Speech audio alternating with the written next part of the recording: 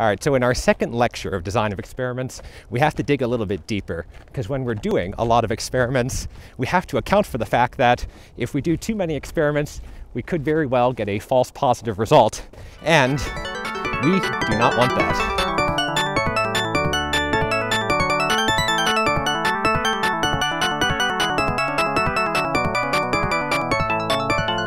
All right, so here's how it goes. Basically, if we're going to be running multiple experiments, we have to account for multiple testing. And that's going to be the focus of today's lecture. So, in the last lecture, we ended with this idea that ANOVA is actually a linear model, but there's a problem. If we try to estimate all k plus 1 parameters, that is, a global mean and k treatment effects, well, we can't do it like a linear model. Um, mathematically, it doesn't work because the matrix that we'd be trying to invert to get the least squares estimator is, uh, well, non invertible. Uh, it's rank deficient. So we had this idea that I was ending on that in practice, we can't estimate a global mean and all of the k treatment means or treatment effects. Uh, and as a result, we need a linear contrast um, or a linear constraint, I should say, because contrast is a slightly different thing that we'll talk about. Um, well, I guess they're kind of interchangeable, but we'll talk about uh, different types of contrast as well. But we need some sort of linear constraint on our parameters. Um, so we're going to pick up there with an example because I think that would better illustrate this. So what we're going to do is look at this output from an experiment I ran in my notes. And what do we have here? Well, what we have here is an ANOVA table that came from having K equal to four categories with a sample size of little n being 10 for each category. So the total sample size capital N is going to just be 4 times 10, which is 40. All right, we can still do arithmetic. Anyway, oh, and I guess I should say I generated this data with the epsilons being normal, standard normal, normal 0, 1, but in practice, we don't know this. In practice, this is unknown but we can, of course, estimate the variance from the data. Right, so I created this, and I should say that they're for the four category means, um, which I referred to as A, B, C, and D. So what we end up with is we end up with, um, I think in this case, yes. So in this case, the let's move this guy down further, if I can. There we go. I kind of gave you the answer before I set up, explain the setup, right? So the setup here is that we have our global mean mu. That one I'm pretty sure should be zero in this case. Yeah. And then what we have is we have our tau A, which is going to be minus one, our tau B, which is going to be minus point one. So just a small shift below the average. We have tau C, which is a small positive shift above the average. Kind of an intense one there. Let's, uh, there, that's a little bit better. And we have tau D, which is going to be our category D, and that's going to have a treatment effect of plus one. So here, category A is one unit below the mean, and category D is one unit above the mean. So these are kind of the most extreme cases, with categories B and C would just be a little bit below and a little bit above the mean. Um, when we generate this data randomly um, in R, and then we plug it into the uh, ANOVA function to fit such a model, we get this table that's sort of floating around right here. So again, what we see from the last class is we have our degrees of freedom. So again, the in this case, the the label column, the label row corresponds to the treatment, and the residuals is well just the residuals from last time. So the first thing to note is right, the degrees of freedom is going to be k minus 1 and n minus k, which in this case is going to be 3 and 36. So that follows with what we talked about in the last lecture. Um, we have our sum of squares, we have our mean square, um, and we have our f value. So this is the the f value here is going to be the test statistic, and the p value is very small. So, or maybe I should write, therefore, significant. Therefore, reject the null hypothesis that tau 1 is equal to tau, or I should, sorry, A, tau A is equal to tau B is equal to tau C is equal to tau D right? We reject that. We don't know specifically yet which ones are different. Um, we just know that there seems to be significant differences among the categories. Um, and yeah, this example was set up to make it kind of quite obvious where the error variance I use, the epsilons have a variance of one, uh, which is small enough to make it so that we can very um, precisely identify significance here.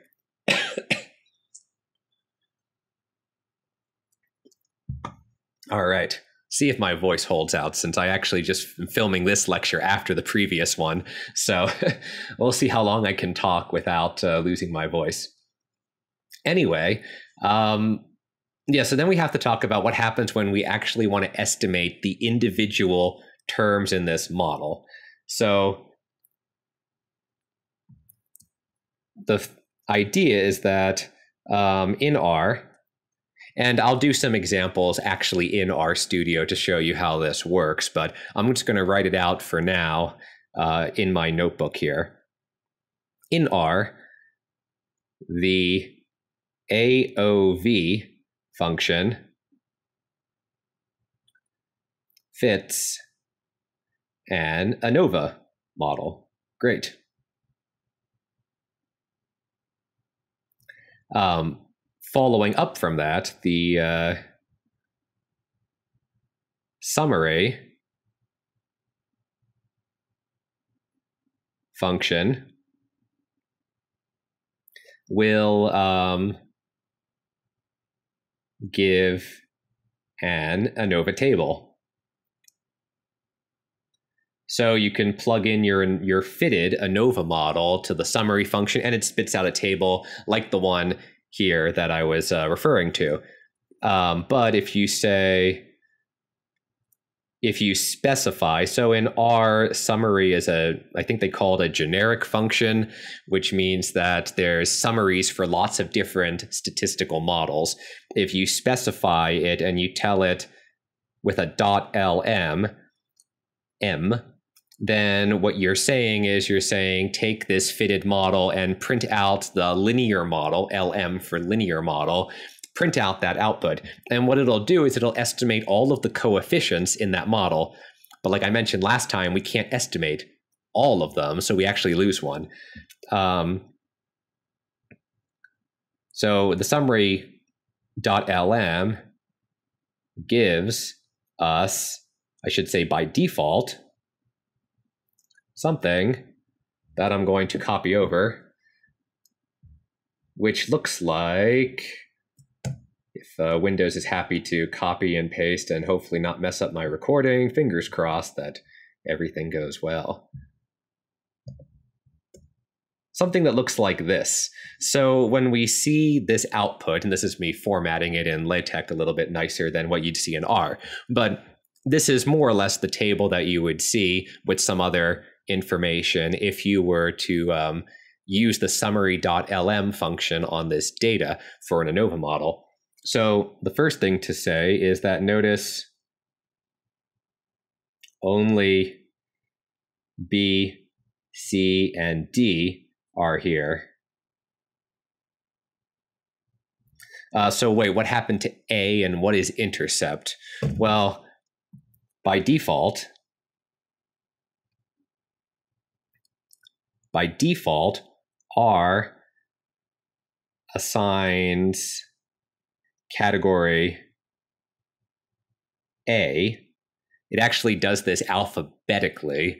So if you say had the provinces of Canada, then Alberta would be the first category. And in this case, A being the first letter of the alphabet is the first category. Of course, if you can manually reassign that, but by default, it just takes whatever the first one is alphabetically. So in this case, it takes A, the first category alphabetically. Um, yeah, R assigns category A to be the intercept. So that's this first column, or this first row, sorry, here. Therefore, what we get is that tau, well, sorry, this value here. So the value it gives is something that looks like minus 0.86 seven, eight. So wh- where does that come from? Notice that it's actually pretty close to minus one, which is what I set the category mean to be. And in fact, what this is, is this is just y bar for category A and then dot, saying that I'm taking the average of all 10 observations in category A. Um, now, if we look at these next three, what we're actually getting here is um, this is the difference between um, we'll say category A and categories B, C, and D. That is, what we get is we get something that looks like y bar b dot minus y bar a dot. So the second row in the ANOVA table is actually not the average for category B. What it is, is it's the average for category B minus the intercept, which is the, the average for category A. Um, thus, what we see here is something that looks like a value of about 1, 1.01, um, which is somewhat close to what we should see. The actual difference should be, I guess, 0.9, so it's not that far off. Um, and then similar for the rest of them. So the second or the third row would be yc dot minus y bar a dot. And the fourth row is going to be y bar d dot minus y bar a dot. So these are the four things that we're estimating from our data. We're estimating sort of the baseline category, which defaults to A, and then we're estimating the differences between category A and categories B, C, and D. Now, this makes a lot of sense if A was a control group or a placebo group, and we wanted to say, okay, the default for our, let's say, untreated um, subjects is A. And then every other group um, becomes uh, sort of, well, what happens when we apply B to this group? What happens if we apply C? What happens if we apply D? How much does it change from A? And that's where the, the, um, the p values are telling us in the right hand column. So it's always good to understand what is a p value actually telling you, right? Because you look at this and you say, ah, R put a bunch of stars there, so it means it's significant, and I guess we can go home. But if we don't know what we're testing, then we don't know what a significant result means. Uh, so we really, it's really important to know what's the hypothesis being tested by each p-value in the right-hand column. So uh, let's start at the top here. I'll say the p-value for intercept um, is basically saying is testing the null hypothesis that the category A uh, is going to have sort of a zero treatment effect versus cat, um, the alternative that category A is not zero. And then when we look at the following um, p values for the other three rows, we are testing um, for differences between category A and categories B, C, and D, respectively. So our null hypothesis is actually going to be that T A is equal to, say, TB, um, or tau, sorry, I should say tau, because I'm using the Greek letter, um, versus the alternative, which is tau A is not the same as tau B. And similarly, for tau C and tau D. So this is what's being tested in the global sort of ANOVA table that we had up here. We're testing whether or not um, all of the taus are equal or if there's at least one that's not equal to another one right? And that significant result at the top of the page here is telling us that yes, we believe that at least one category is different from another category, but we don't know which one. When we get down to here, um, we're testing now the differences between group A and groups B, C, and D. Now, quick side note um, this is not adjusted for multiple testing, which is something we will consider in much more detail at a later lecture. I believe that's chapter three in my online lecture notes.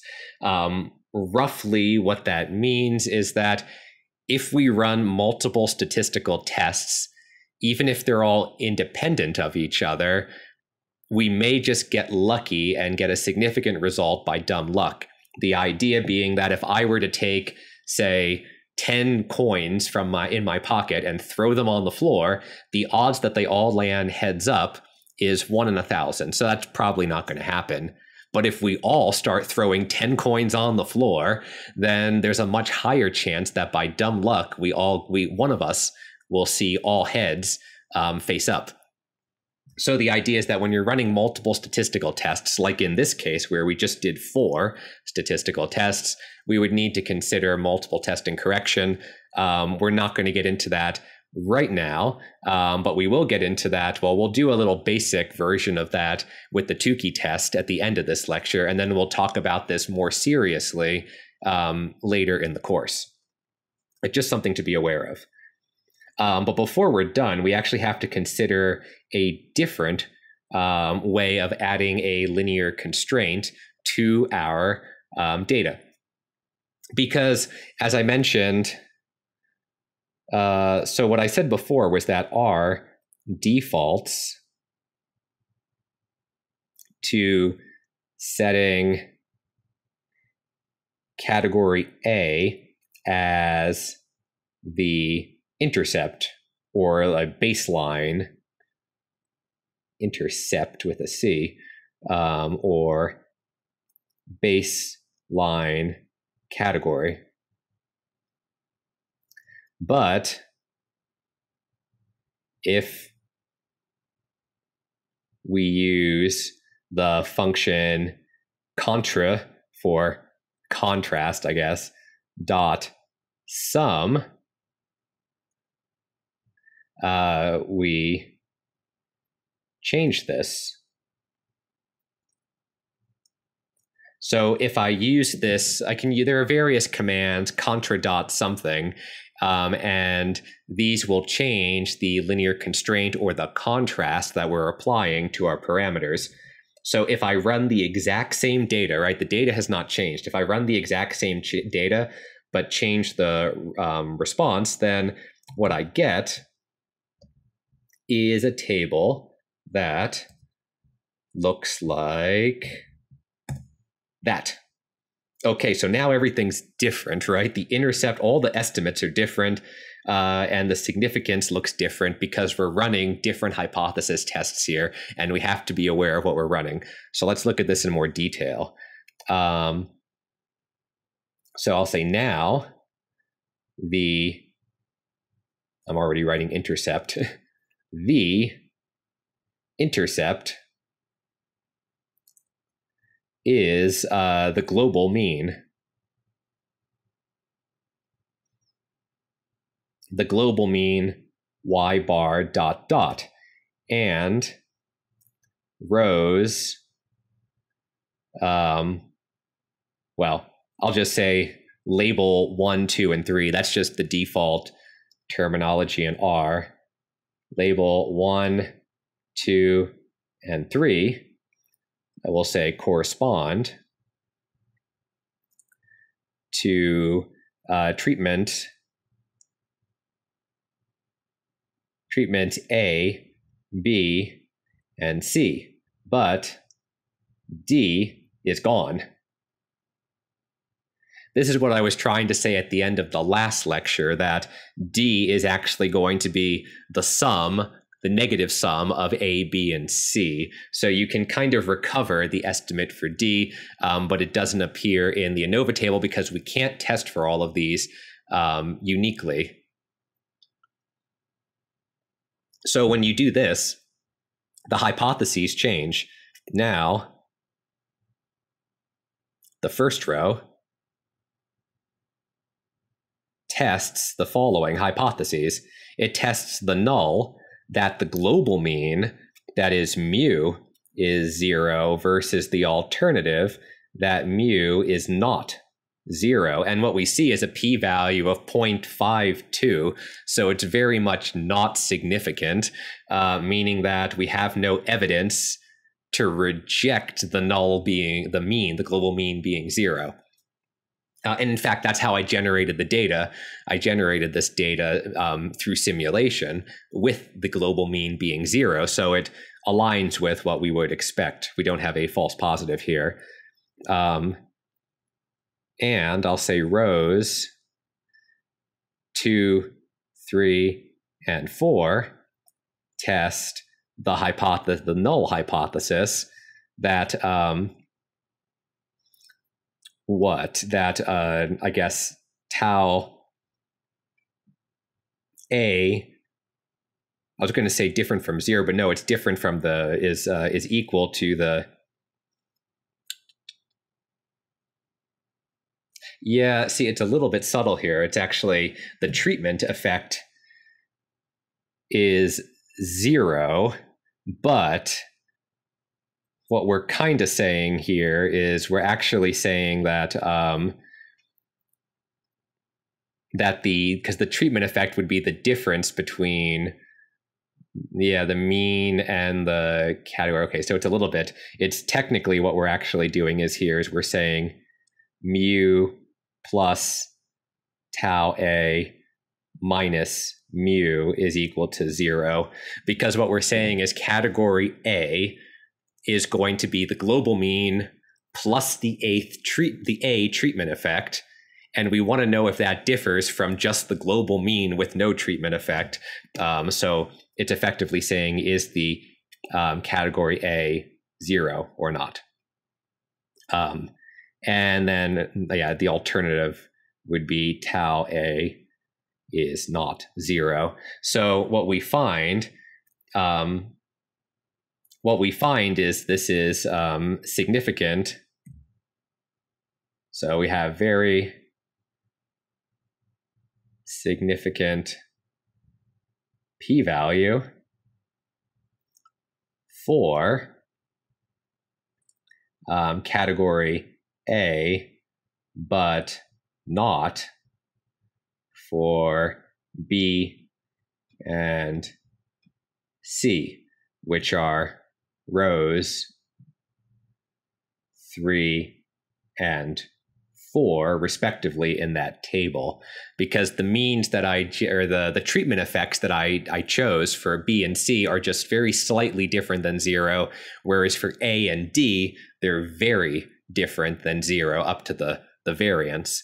Um, now we can't test D here because of the way the contrast was set up. We sort of lose D in the table, but we can still estimate tau D. Uh, we just don't have the hypothesis test because of the way the mathematics works out. So this is quite subtle. Um, and it can be a little bit confusing at first, but it's really, really critical because when you're you know trying to analyze real data write a report for a customer for a supervisor or whatever uh, you really need to know what the what the table is telling you what the hypothesis tests are and what they mean. Um, and depending on how your stats program R or otherwise reports the table and how it sets the contrast can mean different things. Um, that being said, there's actually a better way to do all the pairwise comparisons. That's going to be a post hoc Tukey test, which we'll talk about. But first, I do want to do one quick side note, um, which is going to be my side note, somewhat irrelevant to the discussion at hand, um, on sample size.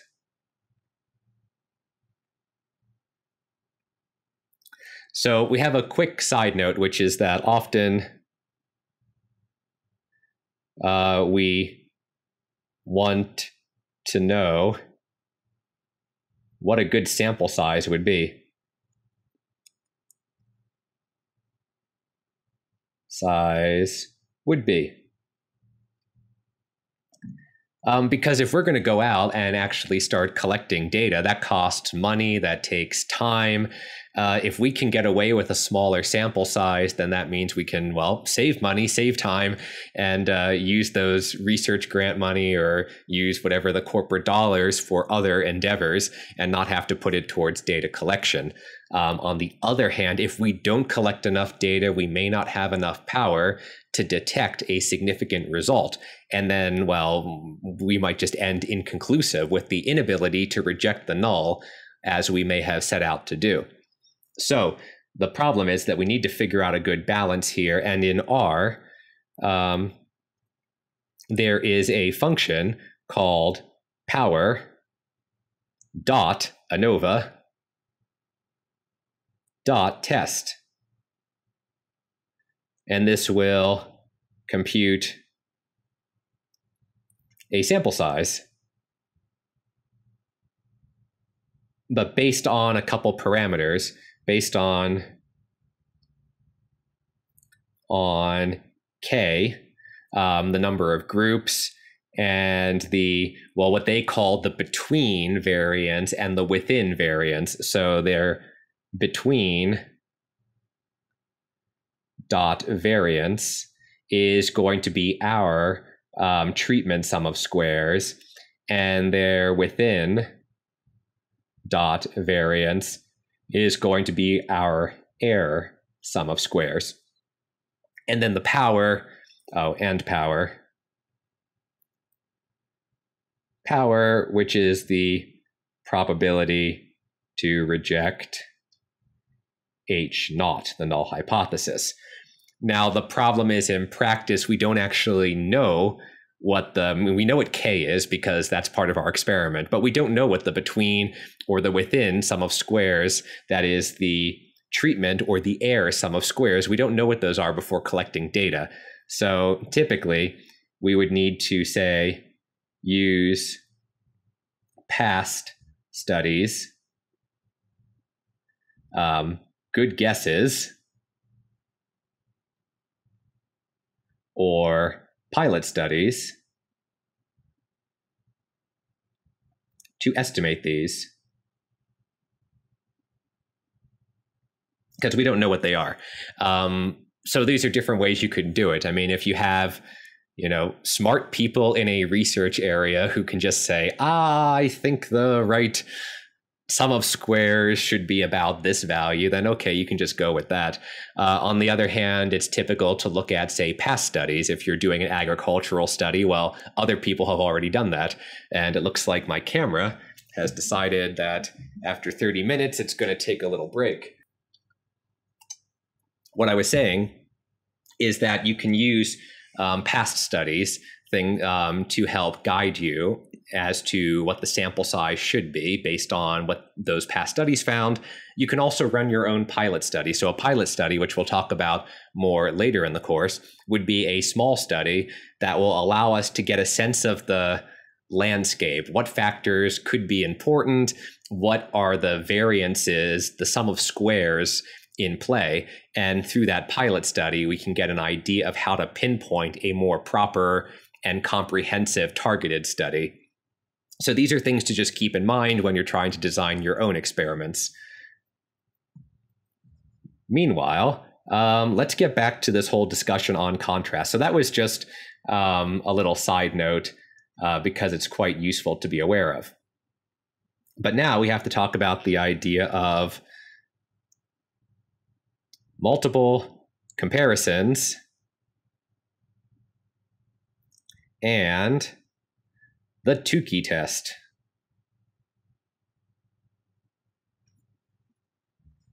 All right, so what are we trying to do here? Well, like we did in the uh, above, above what we saw was that I can test for the difference in the means for categories, say A and B, or A and C, or I could even do B and C, or C and D, right? Any two pairs, I can test the difference. And what I would do to test the difference would be to do a t-test. So just because just because R will only give you um, four hypothesis tests doesn't mean we can't do more. It just means we have to be careful when we do more. So let's start at the beginning and try to write that down. Um, so the idea is um, if I want to test for the significant difference between, let's say, um, I think in my notes I used I and J, so we'll just say, is tau I, the ith category, the same as the jth category, or in the alternative setting, is the ith category different from the jth category, right? This would be a natural thing that we would want to test. Uh, well, what we can do is we can just write out a classic t-test um, then I can use a t-test. Great. And that's something that would have shown up in sort of stats 101 type courses. Um, but we'll write down the equation anyway. This is an unpaired t-test. Um, so what we have here is something that's going to look like the difference of the sample means so we have the difference of the sample mean for category I and category J.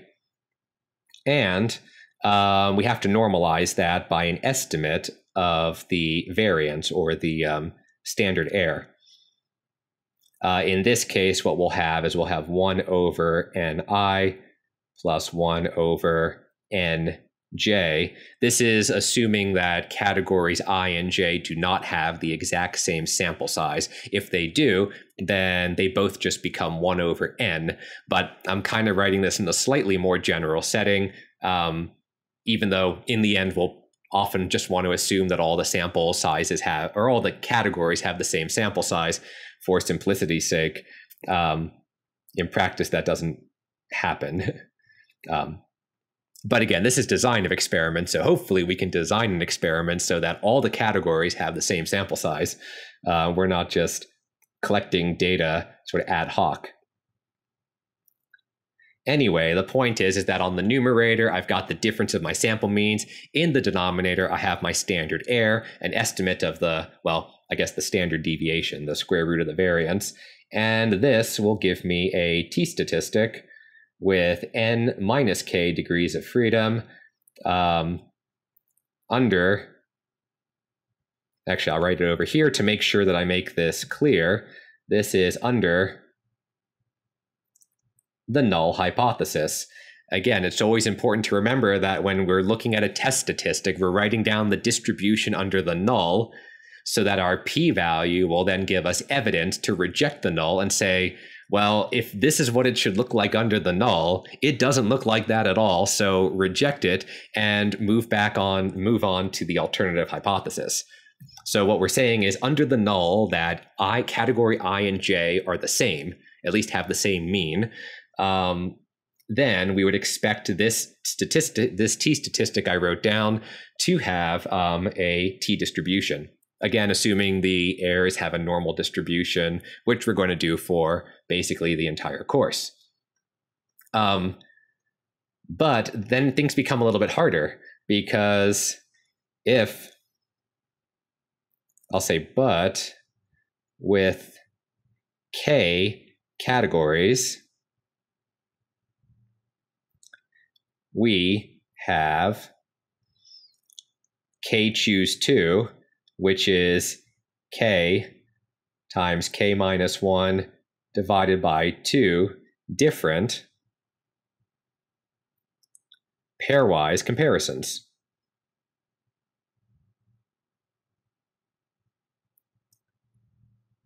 To test. And that could be a lot of tests, right? I mean, even with uh, k is equal to 10, we're up to what, 45 different hypothesis tests. And that could mean that the probability of getting a false positive uh, can actually be quite high. And that's where we have to consider the idea of uh, multiple testing correction. So the first is going to be the simple but or maybe simple is the wrong word the easy to apply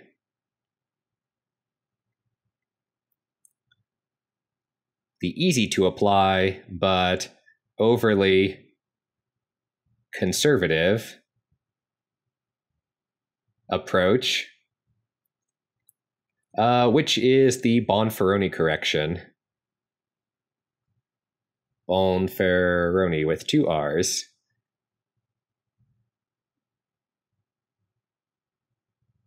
And what Bonferroni said was what we're going to do is instead of of rejecting h naught if the p value is less than some alpha, say 0.05, 0.01, you know, whatever you want, your rejection threshold, um, we divide alpha by the number of tests. Um, which I write in my notes as K tilde, which is K tilde being this K choose two, which is equal to the number of tests. Um, so this is a, and this doesn't just apply to this specific setting. The Bonferroni correction is really good to know because it applies to just about any multiple testing setting that you can imagine. Um, but as a result of the wide applicability, it's also overly conservative. So in this specific case, it's not exactly what we want to do, but it is good to write out all the math and show that it makes sense. So why does it make sense to take that significance level and divide by the number of tests performed? Well, that means that the probability that there's at least one I and J such that the t statistic comparing i and j is greater than the threshold.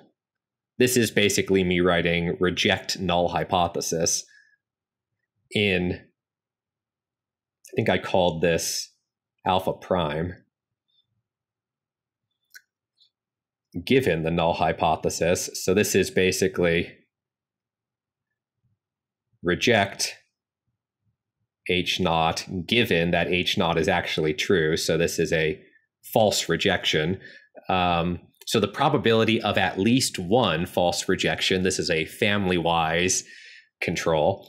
Well, mathematically, we can write that out as the probability of the union over all i and j. So this is the union of all the events, which basically is a way of saying that, ah, we're rejecting at least one of our test statistics falsely.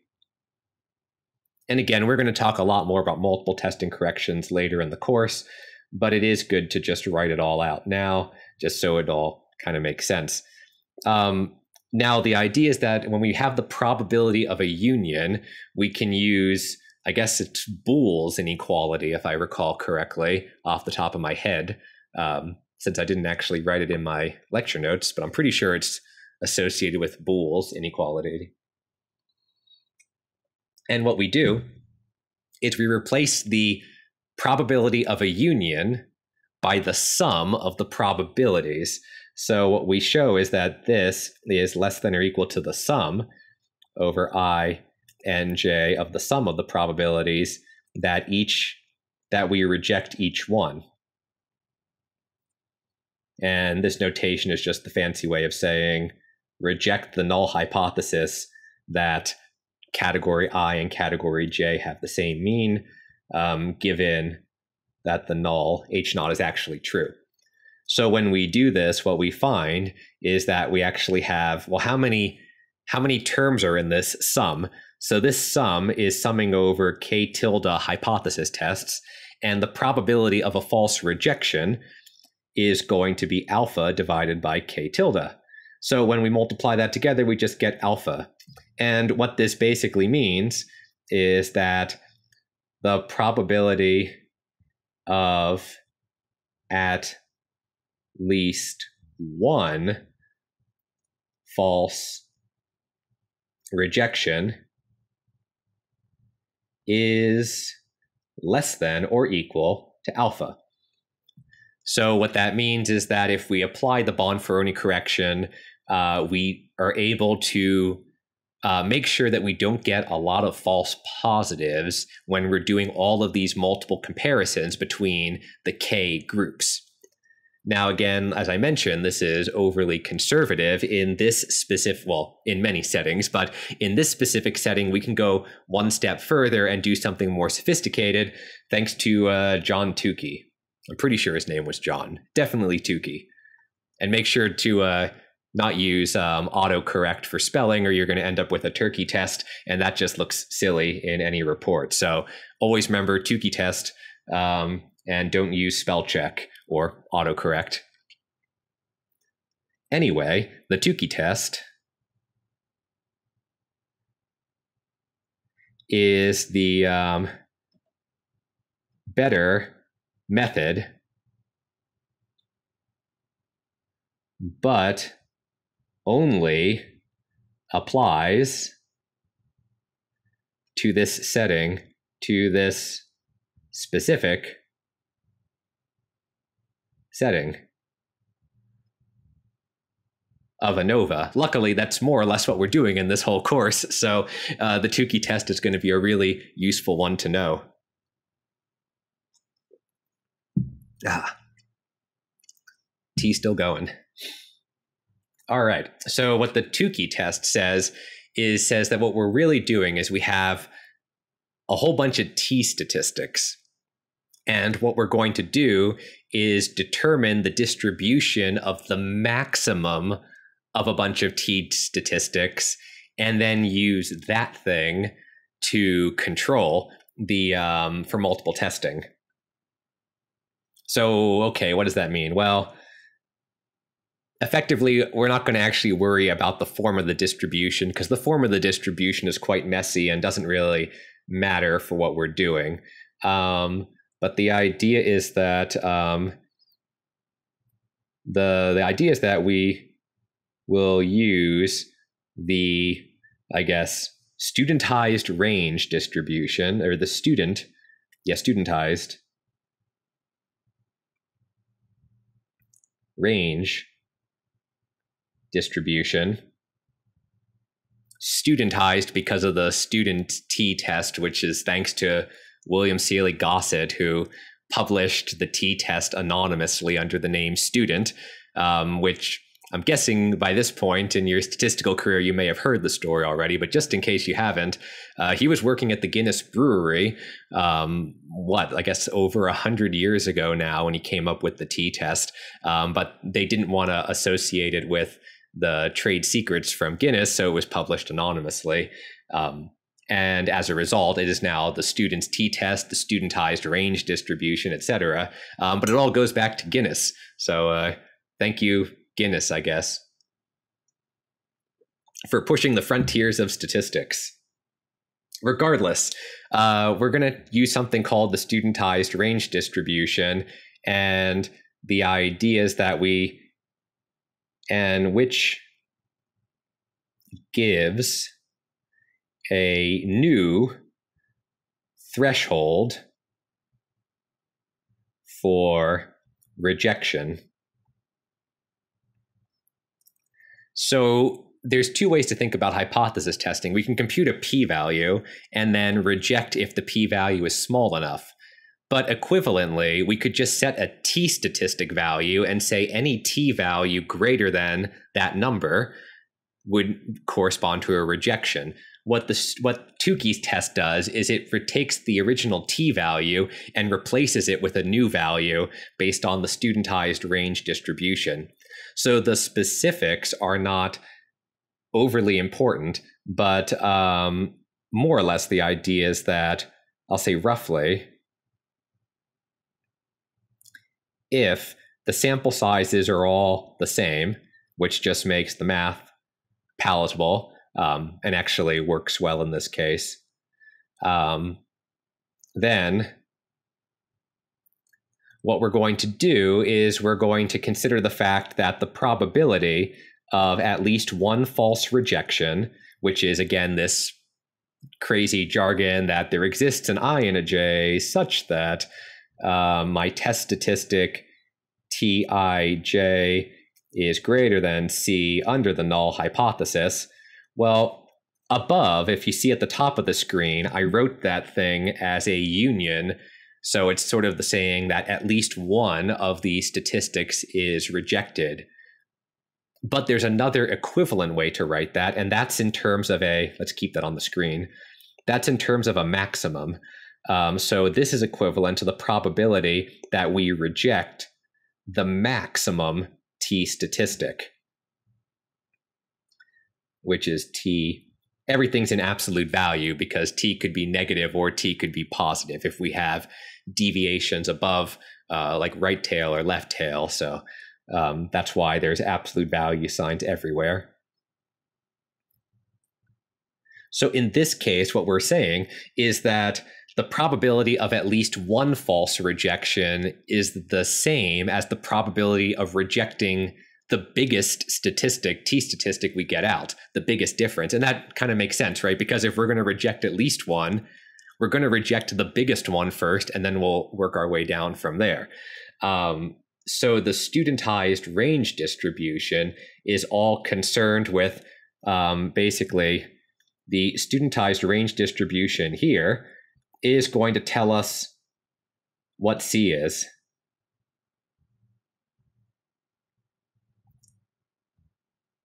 And luckily, this is computed by, well, a computer. So we don't actually have to uh, compute it by hand because the the equations are just annoying and it's not really anything enlightening.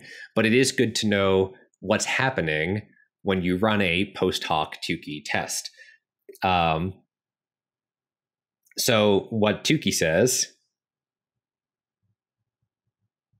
Tukey says, dot dot dot, if category or if the sample size is if the sample sizes are all equal, then we um, get the I guess a um, I guess a, a family wise error rate. I guess we get we get a well, we'll just say test size family wise test size of exactly alpha, which is what we want. We want the probability of at least one false positive to be exactly alpha. The Bonferroni is overly conservative, which means the actual test size might be smaller than alpha, meaning that we might get some false negatives if we use the Bonferroni method in this setting. So using Tukey's method, um, we get exactly what we want, but only if all the sample sizes are the same. Um, so this is not true if sample sizes uh, differ, but still better than Bonferroni. Bonferroni with, there we go. Um, yeah, so the idea is that it's still doing better than the Bonferroni method. Um, because Tukey's tests applies very specifically to this setting of multiple comparisons with these t statistics and different category means. Um, if we're in more complex settings, we can't use Tukey's test. We might have to rely on Bonferroni or one of the other methods that we'll talk about later in this course. But for now, we're going to use the Tukey method. And the Tukey method um, in R we use the function Tukey with a capital T, H S D for, if I recall, honest significant differences. If I knock my um, pop filter here. And what it's going to do is it's going to construct simultaneous confidence intervals for the differences between each mean. And also, um, you get some p values. So we can do that for this example data. And I did do that for this example data. So let's, uh, let me copy that over and we'll see what we got. Right, so let's go back to the example. This is that same example data that I was using above with k is equal to 4 and little n is equal to 10 and categories A, B, C, and D. Now, so we're doing this exact same data set. Um, after doing a post hoc Tukey test applied to this data set, what we get is a table that looks something like this. Um, so here, we'll say that each row is a difference is the difference the difference between two category means. B versus A, C versus A, all the way down to D versus C the first column here is going to talk is going to compute the this is the um, actual difference between the categories. Note that it can be positive or negative depending on if the first category is larger or smaller than the second the mean of the first category is larger or smaller than the mean of the second category um, and then the next two are going to give us confidence intervals that hold simultaneously. So this is important because when you compute a confidence interval in statistics, right, you're saying with some probability, say 95%, because that's usually the default for better or worse. Um, what we're saying is with that probability, we expect the true population difference to lie within this confidence interval. Okay, but that only applies to a single one. And if you have two 95% confidence intervals, the probability that they jointly hold is not 95%. Um, I can do that off to the side. So, right, the probability basically, the idea is that if one interval holds with probability 95%. Um, and the second one holds with probability 95%. Well, the joint probability, right?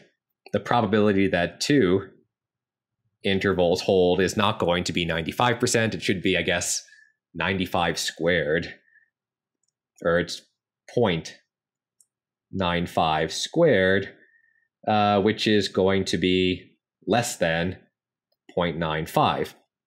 So the point is, is that you can't just take just like you can't have multiple hypothesis tests and just treat them separately, you have to consider multiple testing corrections. If you have multiple confidence intervals, you have to widen them so that they hold jointly. And that's what the Tukey test does by default. So, what we have in the Tukey test here is that we have confidence intervals. That means that with 95% probability, I say by default, and by default.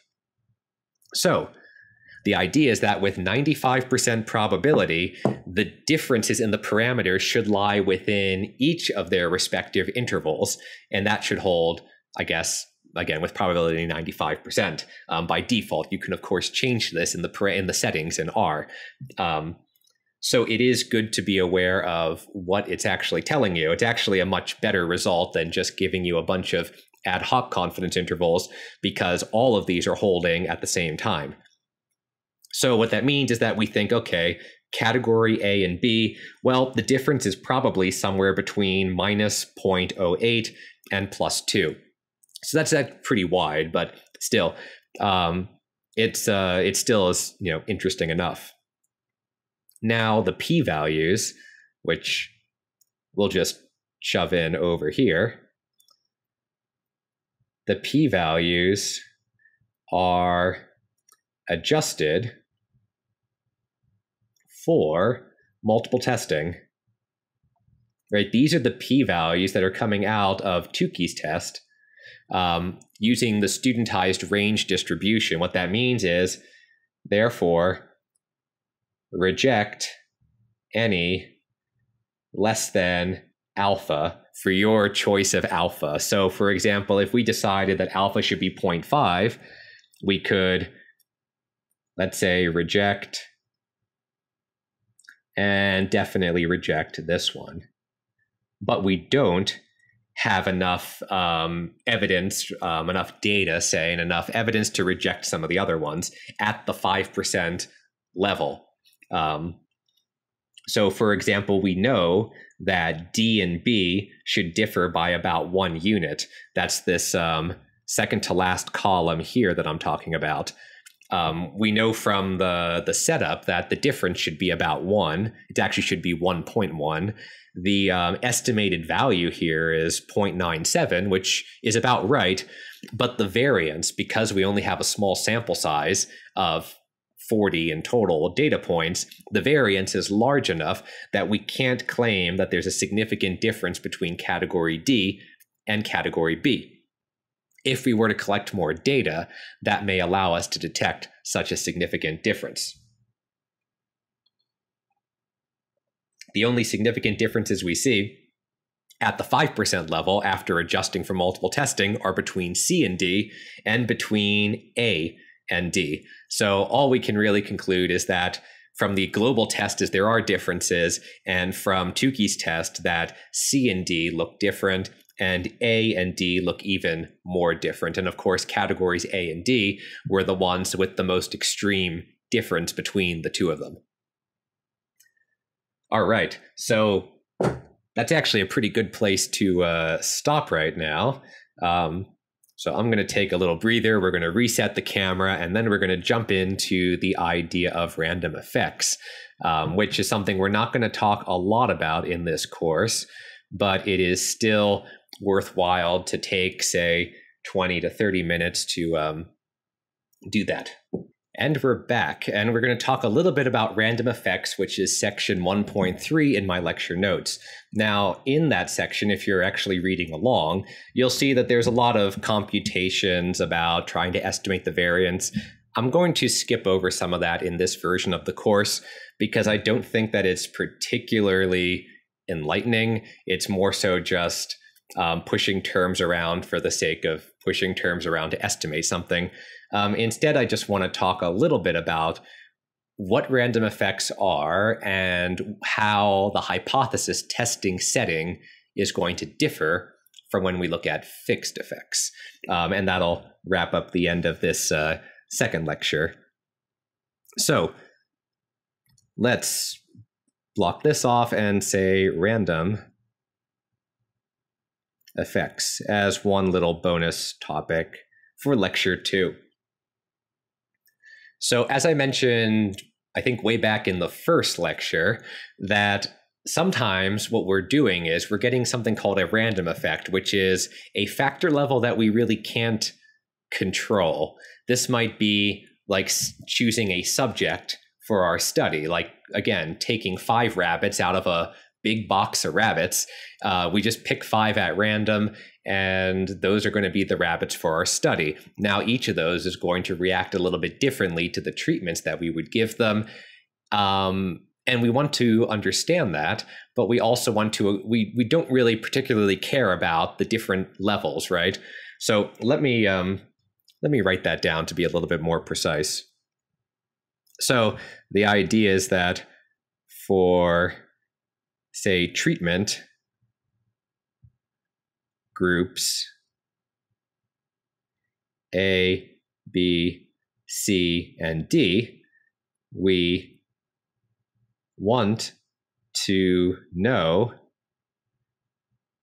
how the response, the response variable, differs between them, between each pair. This is what we just talked about in the post hoc Tukey test. Right? We might be interested as okay, is there a significant difference in my factors. Okay, yes, there is. I did my global hypothesis test, my F test, and I found out that there's a significant difference. And then we follow up and say, well, I want to estimate the treatment effect for each of my categories. And I want to know is there a significant difference? Does, say, medicine A perform better than medicine B? Or are they about the same? Does it do worse? These are questions that I might be interested in. I said, but for a random effect, I don't care about this. About this. And this is one of the ways I think about random effects, right? If you were to select five rabbits from the population of rabbits to then run your experiment on, I don't really care if rabbit A is performing better with respect to res- um, the response variable than rabbit B. Um, or maybe they're the same, maybe they're different. It doesn't really matter too much to me. Um, the point is that we want to take that variability and the fact that each of the rabbits will behave slightly differently when subjected to treatments um, and control for that. Uh, so what that means is that we have the same they have the same model as before, um, but the hypothesis that we're testing is going to be a little bit different. So I'll say as before, we have a model that looks like um, y ij is going to be mu plus tau i plus epsilon ij. Okay, so that didn't change, but instead of treating tau i as fixed, we treat it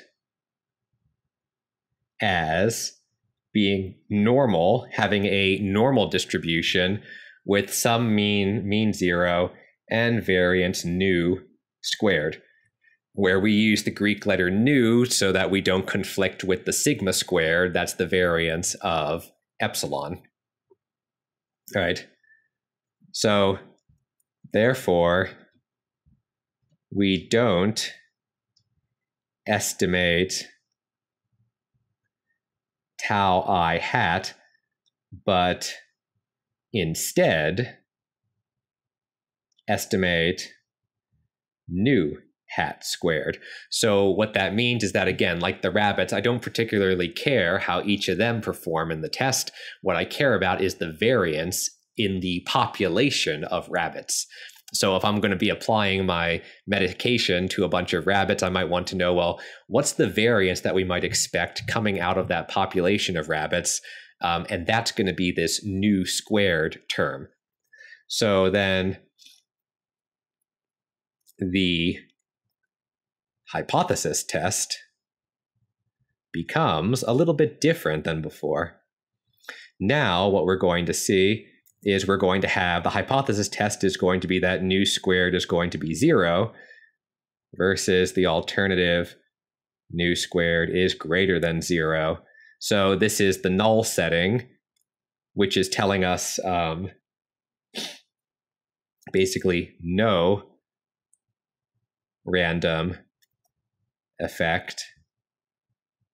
And this is basically some random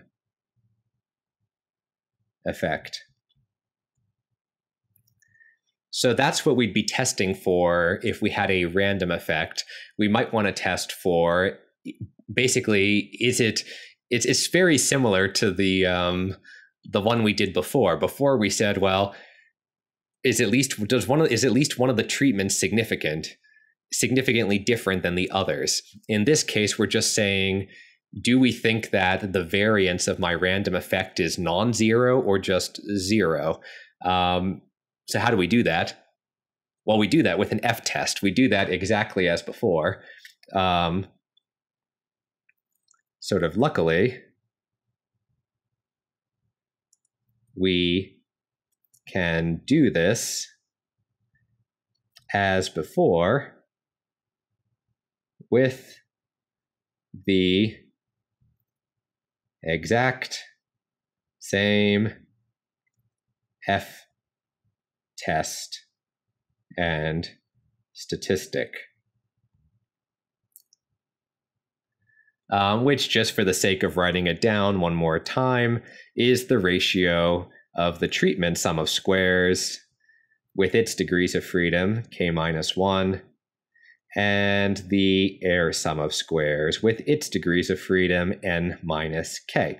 Um, again, which is going to have an f distribution with the same degrees of freedom, k minus 1 and n minus k, um, under the null hypothesis.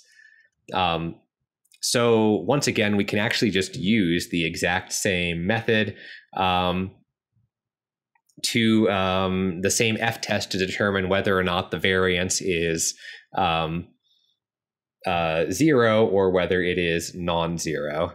Now, what I will say, and again, I don't plan on actually um, testing you on this, but I think that it's worth to just write it down. Um, and if you want more details, they're in my notes. Um, so I'll say in my notes, you can find a derivation for the estimator nu hat squared. Um, and it really just comes down to figuring out what's the expected value of the treatment sum of squares and what's the expected value of the error sum of squares. The answer um, is going to be something that looks like 1 over n minus or times the difference in the treatment sum of squares divided by its degrees of freedom minus the error sum of squares divided by its degrees of freedom. So it's going to look something like that. Uh, again, I'm not too worried about being able to reproduce the derivation, but perhaps in the office hours we can discuss that in more detail if you're interested.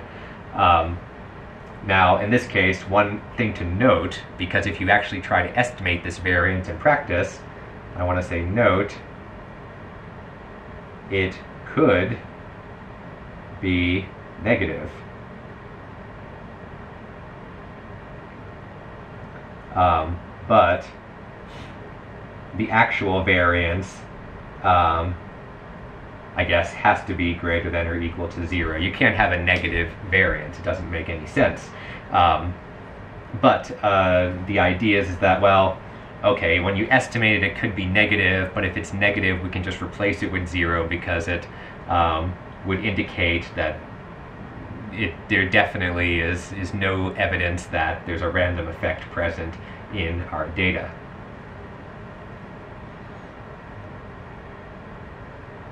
And uh, let's write furthermore,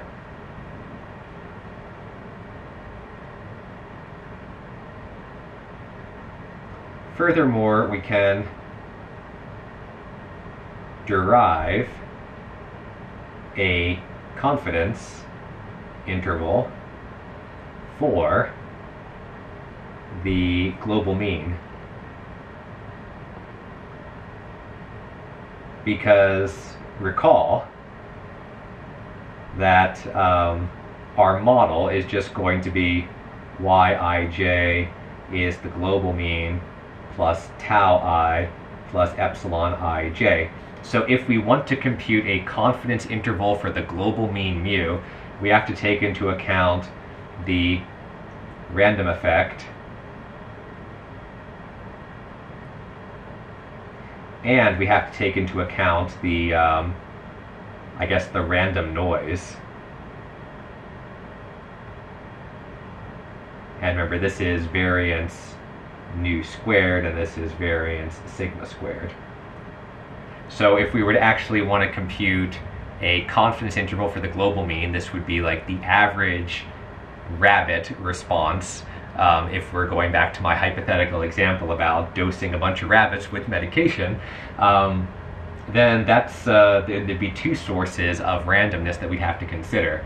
Um, again, if you want to see the detailed derivation, you can compute uh, the variance is computed in my online lecture notes. It's also in a lot of textbooks. But just to write it down for the sake of exposition, um, I'm just going to skip to the answer again because I think it's good to write it down just to show you what we would get after the what a confidence interval would look like. So the confidence interval says that well, um, this is a one minus alpha confidence interval.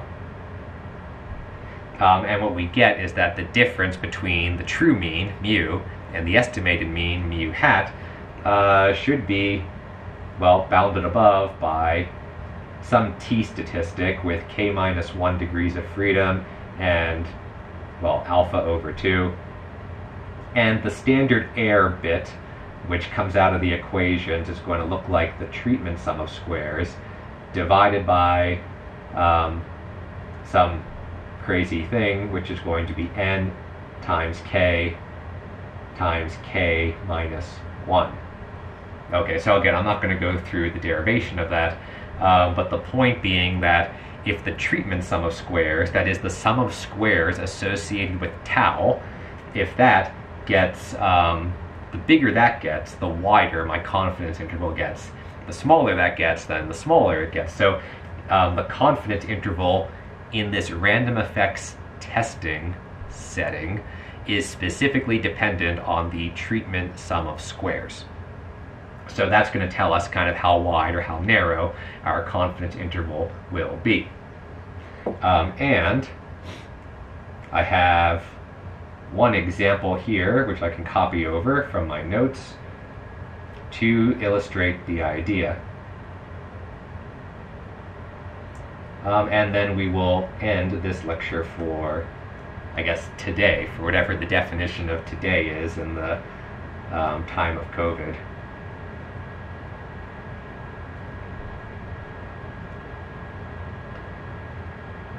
So here I have an example. This is an example using the LME4 package.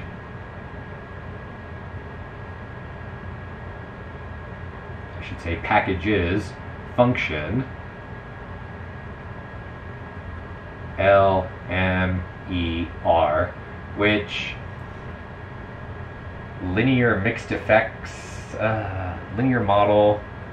I forget what LMER is supposed to stand for. I think it's a linear mixed effects model. Um, because when you have random and fixed effects, it becomes a uh, mixed effects model. Um, but I, uh, yeah, don't know exactly. I'm trying to remember exactly what that stands for. Regardless, um, it doesn't really matter. What matters is that this is the same data, the same, I'll say, fake data as before with K being four categories, N being 10 observations, and categories A, B, C, and D. So before, when we looked at this, I was treating it as a um, fixed effects. But let's just say that, because this is all hypothetical made up data anyway, let's just say that they're going to be treated as random effects. So what happens? Well, what happens is that um, now when we run this through the LMER function, we get our intercept and our residual variances out, um, and we only get a fixed effect for the intercept. So this is the, this guy here is basically the global mean, um, which is the same global mean that we would have seen up above um, in the other version. But now what we get is we get an estimate of the variance for our um, labels. So global mean, and if I can get this, well, up in here, what we'll end up with is an, um, an estimate for, um, well, nu squared and I guess sigma squared here being the label category of 0.58 for nu squared and the residual um, 0.83 for sigma squared. So that's what this is doing. It's really just going to say, well, again, I don't care about the factor levels in this setup, so I'm just going to estimate the variance of my random effect, um, and you can also give a standard deviation so that you get to see it without having to compute it yourself, I guess. Um, and it still will estimate any fixed effects that are in your model because often in statistical practice we wouldn't just have a random effect on its own. We would have random effects and fixed effects and we want to estimate the variances of the random effects and account for that variation in the data and those degrees of freedom. And then we go down to the fixed effects and we want to estimate the actual um, parameter parameters in the fixed effects uh, and then be able to test them. So in this course we're going to more or less ignore random effects because everything we're going to be looking at can be treated as a fixed effect. Um, but it is good to be aware that these terms exist um, going forward. Right, so with that, we have more or less wrapped up what I wanted to talk about in this section.